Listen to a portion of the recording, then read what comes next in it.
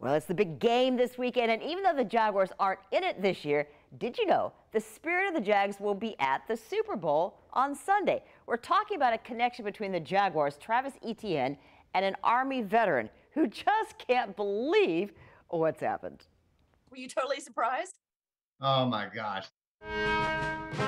Corporal Adam Greathouse, United States Army, deployed to Kosovo.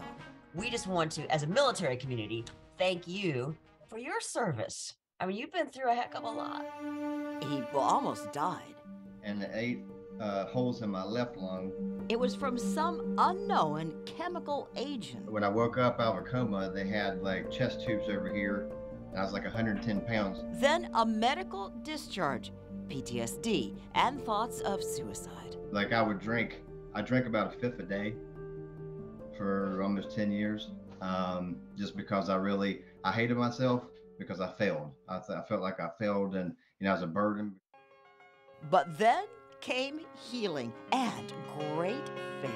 Oh yeah, God, He's uh, that you know that's the re- He's spared my life for a reason. Now Adam pours his life into helping other veterans through all sorts of activities, including surfing. And for his work, the big surprise for Adam Oh, well, as you can see here, a smile near the ear, my face hurts. A free trip to the Super Bowl. We are talking big time bucket list. I try to just keep it in like, woo, you know. Congratulations to Adam.